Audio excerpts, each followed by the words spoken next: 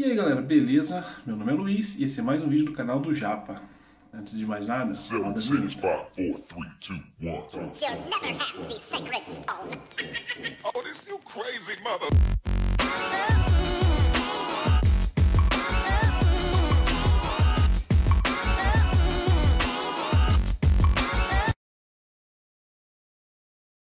E aí galera, tudo certo com vocês? Bom pessoal, antes de mais nada, eu queria agradecer todos vocês que assistiram meu vídeo, que curtiram, que compartilharam, que se inscreveram. Valeu mesmo, não tem nem como agradecer, beleza? É, para quem não sabe, na verdade, esse canal eu criei mais para fazer vídeos assim para minha família ver, né? Aqui no Brasil, na época eu estava no Japão, tá? Mais uma vez, eu não estou no Japão, eu voltei pro Brasil e daqui a pouco eu tô voltando para lá de novo, beleza? Mas é isso. Então eu fiz esse canal para minha família ver também um pouquinho lá como é que era e como a minha esposa e meu filho ficaram aqui, era um jeito de passar o tempo, né?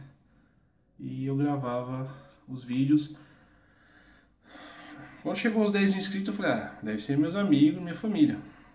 Só que isso foi aumentando, aumentando e, cara, eu achei legal pra caramba. Eu recebi alguns comentários, alguns e-mails agradecendo, o pessoal perguntando e eu conseguindo tirar algumas dúvidas. Então isso pra mim ajudou muito. É legal caramba você poder ajudar outras pessoas, beleza? E hoje passei aí dos 100, dos 100 inscritos, né? É, muita gente fala, pô Luiz, mas só 100 inscritos, o cara já tá se achando. Não tô me achando, galera. Tô agradecendo mesmo, de coração. Muito obrigado a vocês.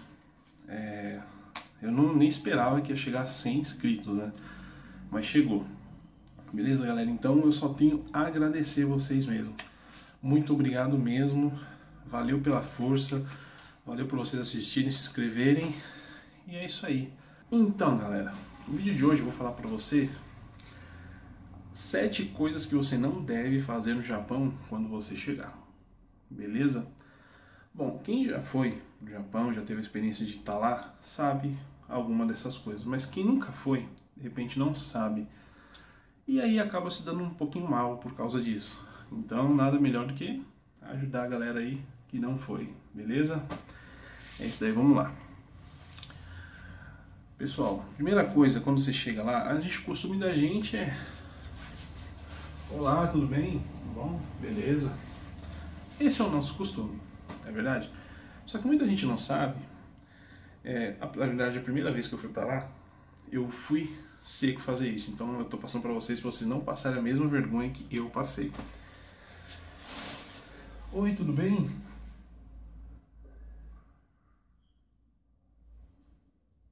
É, eu fiquei olhando pra cara do japonês e ele não me cumprimentava, cara. Foi pro cara sem educação.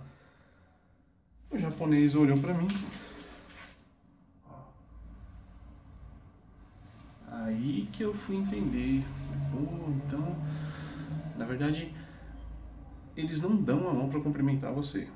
Só que como é um costume da gente, a gente chega e é automático dá a mão. Tudo bem, né? E eles não. Eles simplesmente se curvam para você. Só hoje, né? Já muitos japoneses fazem isso, eles cumprimentam, dão a mão para você porque sabe que é um costume dos brasileiros também. Né? Então, para aquela galera que acha que japonês é tudo preconceituoso, tá aí, eles se acostumaram né, ao nosso costume para poder atender um pouco melhor a gente. Tá? Então foi isso, eu fui seco, dei a mão para ele e fiquei olhando, e ele olhou para mim, eu olhei para ele, olhei para a cara do, do do Nossa, deu branco, cara. Enfim, do cara que leva a gente lá, que faz tsuyaki e tal. Ele falou, ô Luiz, aqui uns cumprimentam com a mão, né? Você só se curva, né? Ah, tá. Entendi. então essa aí é a primeira para vocês não passarem vergonha que eu passei. Segunda coisa, galera. Quando você entra, normalmente você vai na empreiteira, né? E isso serve, não serve só na empreiteira, mas na nossa casa também, dentro do apartamento. Você não se entra com tênis que você vê da rua. E é, eu cheguei lá, meti o pezão. O cara, não, não, não, não, não, não, não pode, não pode. Tira o tênis e coloca esse daqui.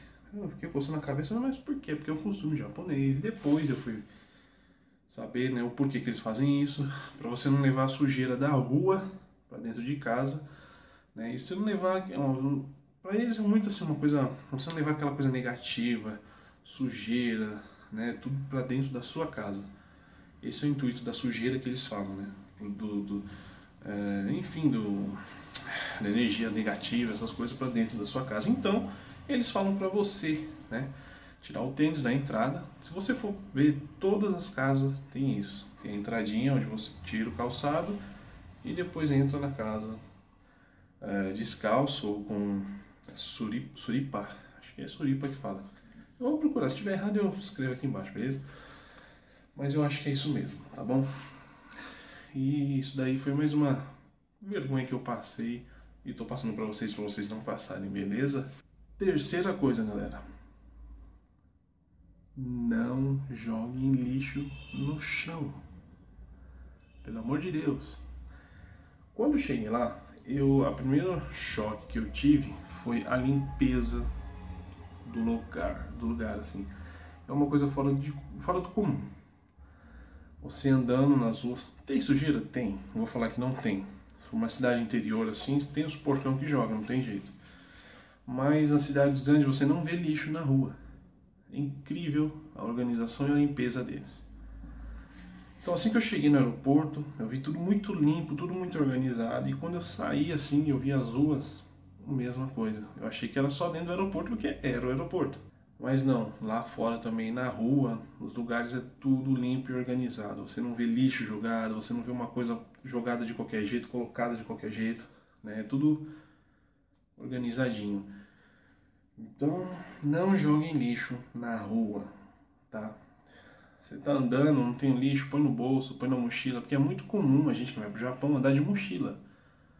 Né? É muito comum mesmo. É, para quem nunca foi, você vai ver. Chegando lá, você vai ver que uma mochila é um item de sobrevivência, vamos assim dizer. E ajuda muito você né, a, no Japão. Então, se não tem um lixinho, põe no bolso, põe na mochila, joga em casa. Tá? Você vai ver que é essa educação que eles têm. E que eu acho que aqui no Brasil deveriam aderir também, né? Só que é incrível você ver muitas mães jogando, tipo, ensinando o filho, a joga no chão, sabe? É complicado, beleza? E vamos para a quarta, galera. A quarta é: nunca ande sem camisa nas ruas do Japão.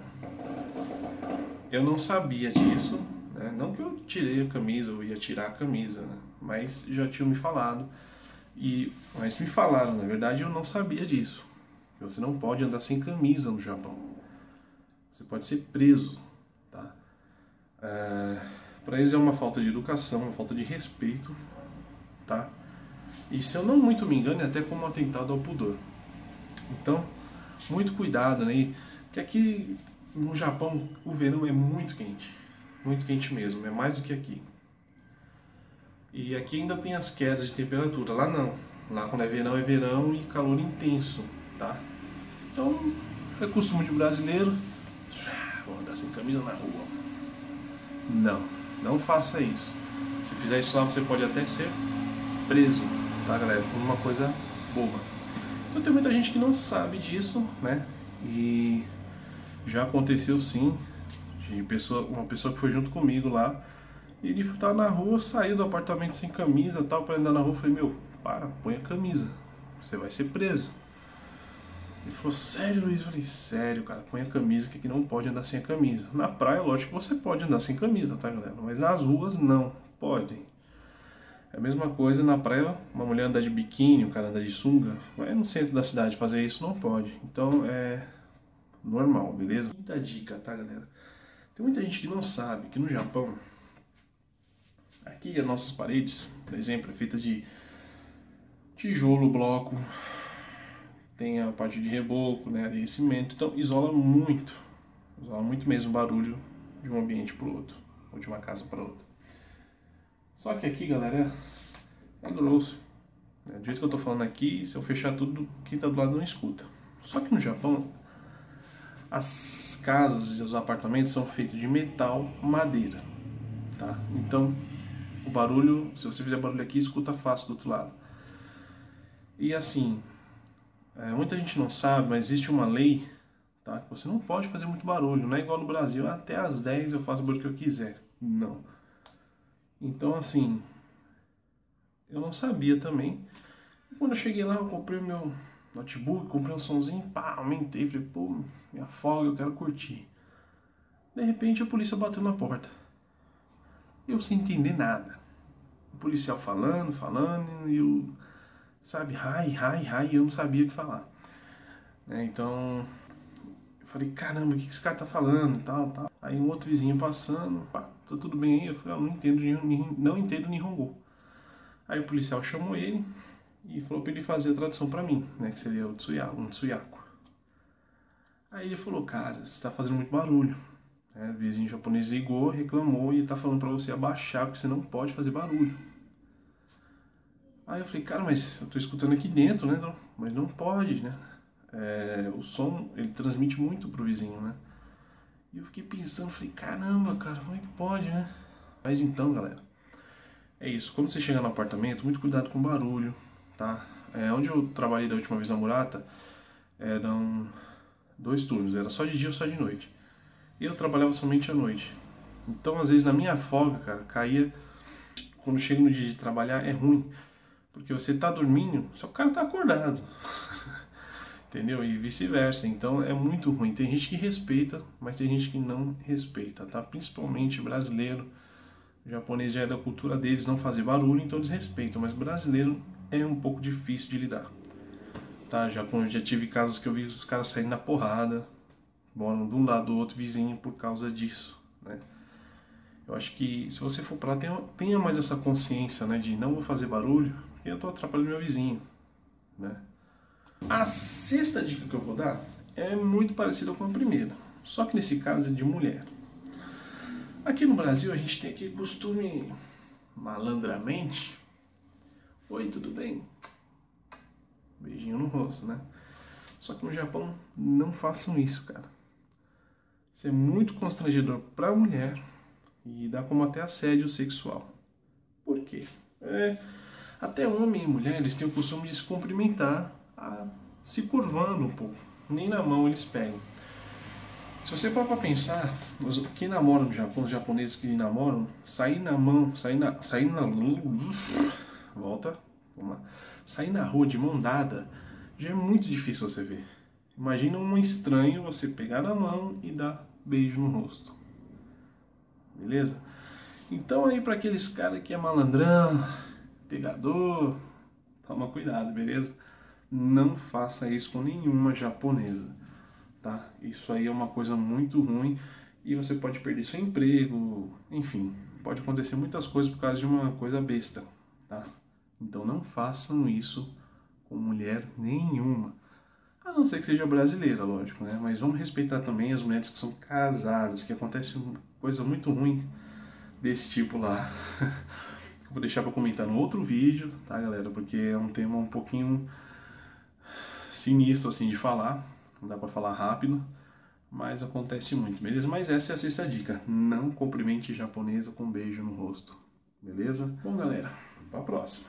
Tem muito casal novo indo pro Japão agora, né? Eles casaram, estão vendo o futuro, querem alguma coisa melhor pro futuro e vê que aqui tá ruim. Vamos pro Japão, vamos. Aqui é costume, ah, você tá naquele clima, tal, papapá, você sentou numa praça e tá ali, né? Hum, se pegando com a namorada. No caso aí vocês, né? Você é a esposa, né? Então, galera, é assim, no Japão não se pode fazer isso também. Como eu falei para vocês, namoro, andar de mandada já é difícil você ver. E você ficar se pegando em alguns lugares assim com a mulher, eu acho que é um pouco falta de é uma falta de respeito com os japoneses, tá? E então, galera, toma muito cuidado com isso, tá? Andar de mão dada é normal. Hoje tá Hoje está se tornando normal no Japão andar de mão dada, tá? Está sendo uma coisa mais natural. Antes não. Antes não podia, não, não poderia fazer isso porque para eles é uma falta de respeito também. Mas hoje já está um pouco mais liberado. Só que aí você hum, ficar se agarrando, né? Ficar aquilo né? Só falta cometer o ato ali no meio de todo mundo, isso aí já não é legal. Então eu falo para vocês, se segurem, vai para casa, né? Um lugarzinho mais quatro paredes, né? Entendeu, né? Então é isso aí, galera. Então não façam isso no meio da rua, tá? Se se beijar, dar um beijinho, dar um selinho, né? Andar assim abraçado, ainda vai, né? Eles não são acostumados, mas ainda vai. Mas você ficar se pegando no meio da rua, galera, já não é legal. Certo? Então, vamos dar uma maneirada, né? A dica que eu vou dar pra vocês é o seguinte. Para quem nunca foi pro Japão, tá aí na primeira vez, pessoal, vamos respeitar a cultura dos japoneses. É, acho que a gente está em outro país, outra cultura, né? A gente não está no Brasil. Eu vejo muitos brasileiros falando assim: ah, eu pago imposto, eu posso fazer o que eu quiser. O japonês paga imposto, eu também pago, a mesma coisa. Galera, entenda uma coisa: a cultura deles são outras. A gente está indo lá para trabalhar e ganhar uma grana, certo? Então, assim, não vamos chegar desrespeitando, né? Eu acho que você não vai gostar que ninguém entre na sua casa desrespeitando a sua casa. Então vamos respeitar tá, a casa deles. Beleza?